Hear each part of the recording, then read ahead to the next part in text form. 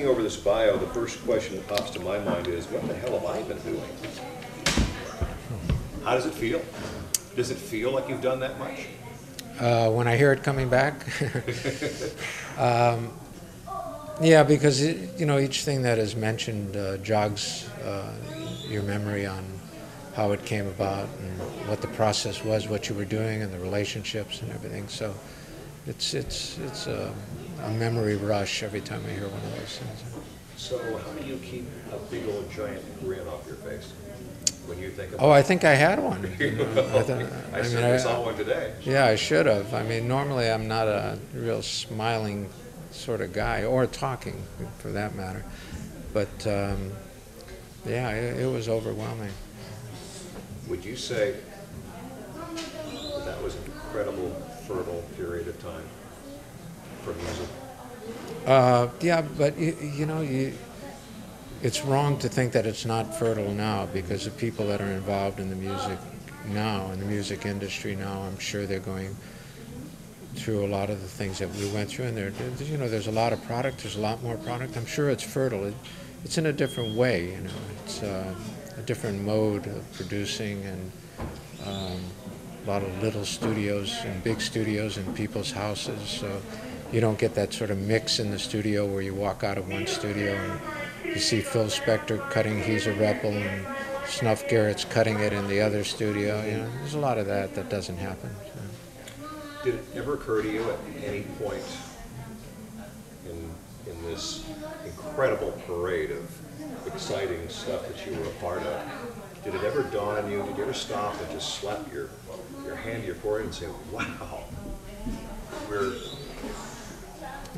there's a, I'm attached to a rocket.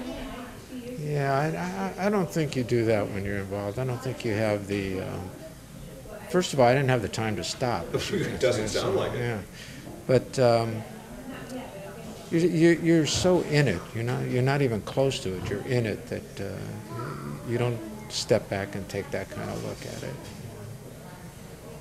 When did it dawn on you? Today, Oh, yeah. How does it feel?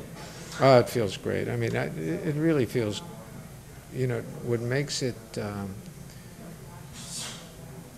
makes you understand it is when your kids ask certain questions about it, you know, and you realize that you're uh, talking. I have a five-year-old and a seven-year-old, and uh, they listen to some of the things that I've done, and, um, and they hear about things that I've done, and it, it uh, you get the feeling that you've done some, something lasting, and uh, that's that's more important than how big it is, and the fact that it lasts. You know, to me, It does help sometimes to see it through someone else's eyes, yeah, exactly, child's. yeah, exactly, especially a child's eyes. gives it a whole new perspective, I should think.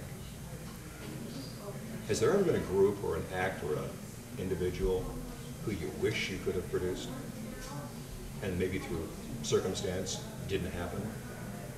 Um, not that I can think of. I, I'm quite satisfied with the people that I produced, and uh, I don't have to look any further for you know great talent, great songwriters, great singers, great uh, and personal friends. You know, uh, the other thing that's different about the industry today, a lot of the CDs that are produced might have eight or nine producers. You know, they come in, they do one track, they do maybe do it at home, maybe do it in the studio.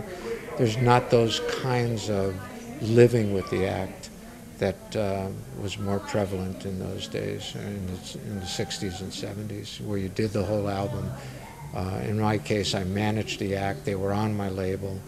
Um, it was really, um, it was it was life, you know, not just making a, a record.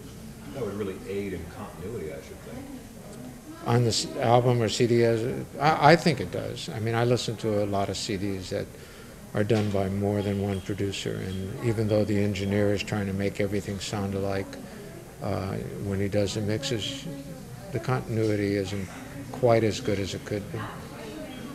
Is there a, a particular project, although looking again at the bio, I can't even imagine being able to come up with a favorite, but is there one that stands out in your mind as um, a watermark event?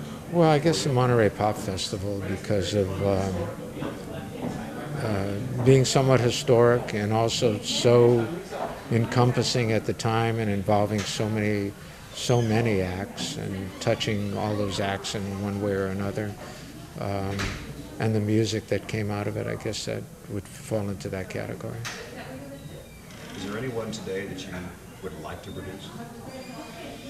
I'm producing kids. That's my job. Well, it certainly looks that way. Yeah, that's my a Very job. fine job. Once Thank again, you. very prolific. Thank you. Um, I'd just like to congratulate you on your induction Thank you very much. and thank you for, as a former disc jockey myself, who got the privilege of playing an awful lot of your stuff. Thank you very much. Thank you. Thank you for playing it, too. Yeah, well, no, thank you for producing. it. Thanks. Got it? Okay.